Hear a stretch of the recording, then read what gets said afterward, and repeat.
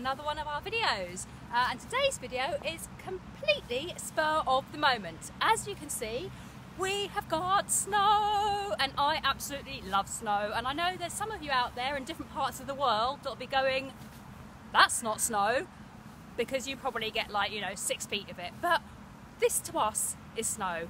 We don't often get snow at all here in the southeast and I absolutely love it. So we decided to come on a little walk. This beautiful park is about a 10 minute walk from our house so we have come out for our daily exercise and a little stroll in the snow. And while I was walking down to the park I had a thought, it just struck me. I was like, could we make a soap with snow? So using snow as a water replacement. And I thought about this. And then I was like, possibly. I'm pretty sure that using snow as a water replacement wouldn't get past an assessment. I'm pretty sure it wouldn't be illegal to sell, but doesn't mean we can't have a little bit of fun with it and do a soap just for us. So today I'm going to experiment. I'm going to go home, collect some snow from my back garden, and I'm going to use that instead of water. And I don't know whether the soap's going to be scented or coloured or you know what because it's literally just popped into my head so I haven't worked out the finer details yet but we're to create a soap with snow instead of water. And just one more thing before we uh, go to the soap, I know there is one question that is probably burning into your mind right now and that is where did she get that beautiful hat she is wearing today? Well, I would love to tell you where I purchased this beauty, but it was actually a gift from Father Christmas a few years ago, so I cannot divulge that information, I'm afraid, but I'm sure we can all agree it is truly stunning and I will not be getting lost in the snow anytime soon. So, I hope you enjoy today's snowy video. Let's make some snow soap. So I am home now and out on my balcony and the first thing I'm going to do is collect some snow. So I've got this little bowl here and I'm just going to fill it up with some of this snow. And I think just pure untouched snow always looks so, so beautiful. Just kind of like powdered icing sugar or something. So I'm just going to fill my bowl up now. So just using this untouched snow And the reason I'm using snow from home and not from out anywhere is for a couple of reasons. One, it's much easier to collect it from home. And two, I know that this snow in my back garden, or my balcony rather, is uh, untouched and hasn't been interfered with because nobody would want to make soap with yellow snow, would they? That would be uh, not pleasant. So I'm going to fill up my bowl with plenty of snow, then I'm going to take it downstairs and weigh it to the correct amount. So here we have a one bowl of freshly collected snow. And the recipe that I'm using today normally calls for 218 grams of water. And so we will be replacing that with snow. So I need to weigh out 218 grams of snow. Because when water freezes it changes volume size, but the weight always remains the same. So I know that 218 grams of snow is going to weigh the same as 200 gra 218 grams of water when it has melted back down. So that is always useful. I see a lot of people asking if ice weighs differently to water, like would 100 grams of ice weigh differently if it was water? No, it wouldn't. The volume would change, but the weight would remain the same, so you don't need to worry about converting things like that. So I'm going for 218 grams of snow in my uh, plastic jug here. And this is what 218 grams of snow looks like.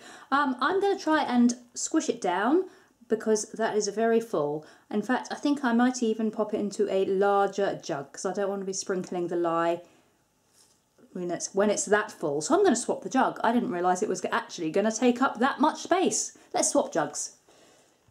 There we go, that feels safer now. So we have just got 218 grams of lovely, fresh, clean, white snow.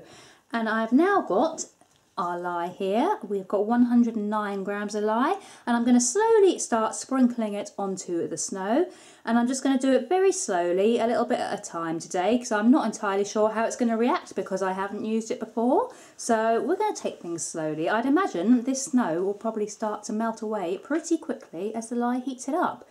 But we'll find out. I obviously have got my gloves, my goggles, my long sleeves on. So let's uh, let's get sprinkling. Just going to start with a little and just mix it in. Alright, and now I'm just going to slowly sprinkle the rest over and you can see that it's melting that snow away already. And look at that reaction, you can see where that lye is. It is melting away that snow right away. So I'm going to use this spoon to just gently stir it in and combine it.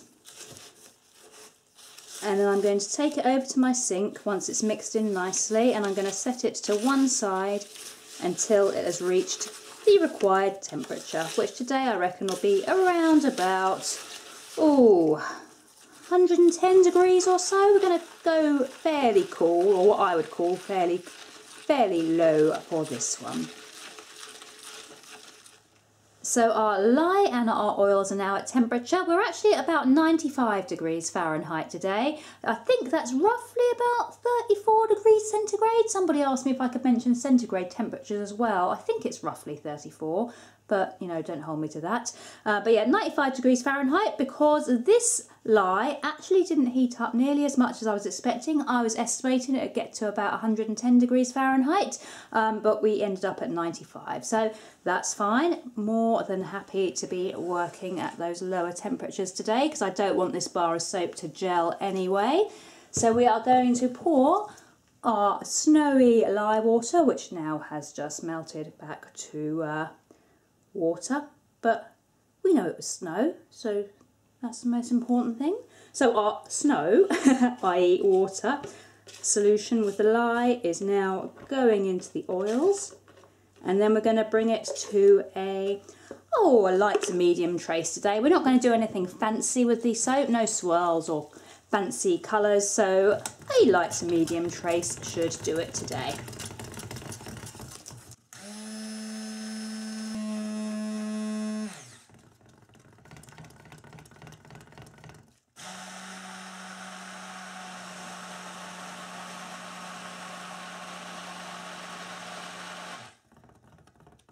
So here we are at a nice medium kind of trace now.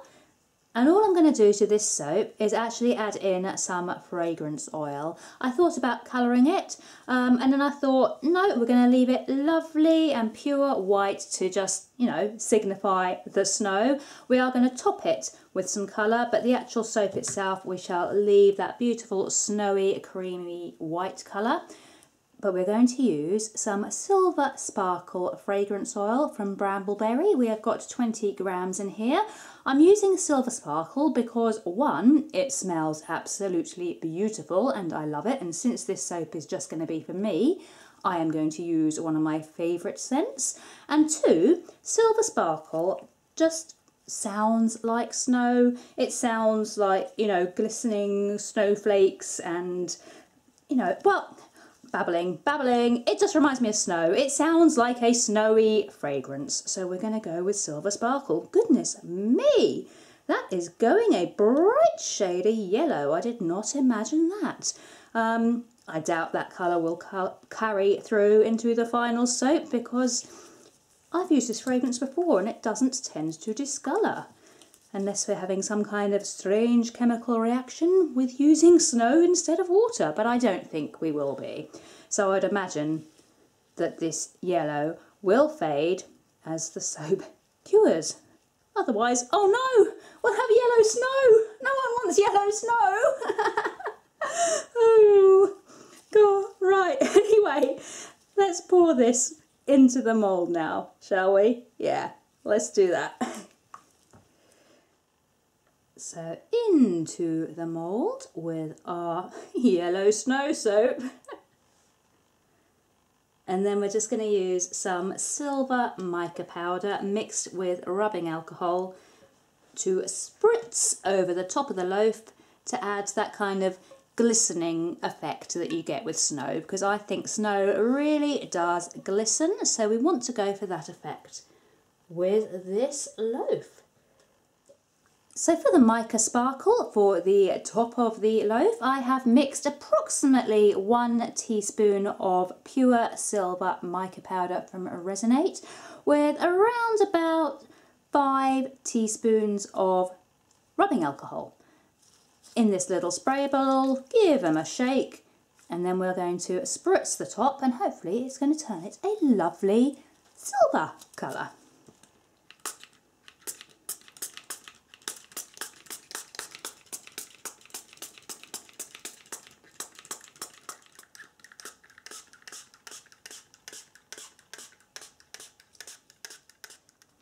I've just had a very quick wipe down there. I will obviously have a better one when I do the tidying up. But here is our snow soap. So it is got the silver sparkle fragrance, the pure silver mica top. It's yellow at the moment, but we're crossing our fingers. It's going to turn into a lovely white bar, because that was my intention. I don't want this to gel. I want it to stay, hopefully, a lovely pale white colour in the middle. So I'm going to pop it into the fridge now to make sure it doesn't gel and then we shall take it out tomorrow, um, let it firm up, get it out, chop it up. Uh, and just to reiterate, this is purely a soap for me. This is one that I don't think we'd legally be allowed to sell because I don't think we'd probably in the UK be allowed to use snow in soap. The only way you may get away with it is if you uh, boiled and filtered the snow, which kind of defeats the point because then it would just be water. So yeah, purely a fun soap, a little bit of an experiment, a little bit of a fun thing to do on a snowy day and the soap is purely for me and is not going to be sold. Um, yeah, just thought I'd clarify that again. So we'll see for the cut soon. So we are back with snow soap and it's actually been about 48 hours because just to be honest I couldn't be bothered yesterday. I was just having one of those days where I couldn't be bothered to do anything and the soap will be fine for cutting today. So 48 hours later we have unmoulded. The soap is not quite so yellow anymore. What I did actually realise after I turned off the camera the other day I realised that although I said I love this fragrance oil I haven't actually used it in soap. I've used it in bath bombs I've been testing and lotions and bubble bars and scrubs, but it only struck me after I turned off the camera that I hadn't used it in soap before, which is probably why I was so shocked by that yellow colour. And I did go onto the Brambleberry website and it does say that it does discolour to an off-white colour, so I think we are all good. I am cutting upside down today so that we don't drag that silver mica top through the soap. So let's get this cut and see how snow soap has come out. Obviously by now all of our so snow has pretty much almost disappeared. That is how little snow we get and how quickly it goes.